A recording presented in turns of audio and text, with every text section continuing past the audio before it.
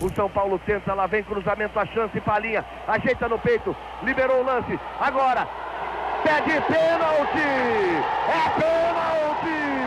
É pênalti! É pênalti para o São Paulo aos 21 minutos. Louco Bielsa diz que não. Não gosta da marcação. Em 92 eu fiquei 10 meses fora da Globo. Fui ser sócio lá na Rede OM. A OM tinha sua sede em Curitiba e a Gazeta era a nossa TV parceira. Muito empenho conseguimos a Libertadores e o São Paulo conquistou o primeiro dos três títulos do São Paulo na Libertadores. Lá vai Raí, ele e Scopone. É um grande momento na decisão da Copa Libertadores. Autoriza o ato. Partiu Raí, bateu. Gol!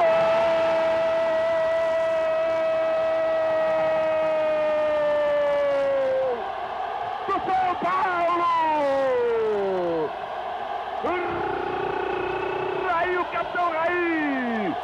Eu tenho muito orgulho das duas maiores audiências da história da Rede Globo e a minha voz. Foram dois jogos de Copa do Mundo narrados por mim. E as duas maiores audiências da história da Gazeta, inteiramente fora da curva, foram os dois jogos das finais da Libertadores de, de 92, São Paulo e New Old Boys. Se não entrar o São Paulo é campeão. Gambou e Zete. Partiu Gambou, bateu. Zete! Zete! Zete! É campeão! É campeão! É campeão o São Paulo!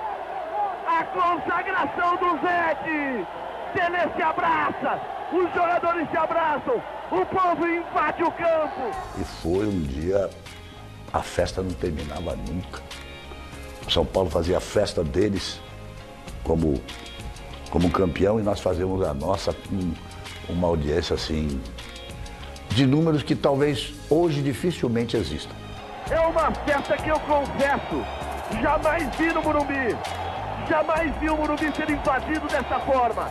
Jamais vi a torcida do São Paulo vibrar dessa forma. É o futebol brasileiro conquistando, reconquistando título importante. É um momento importante para o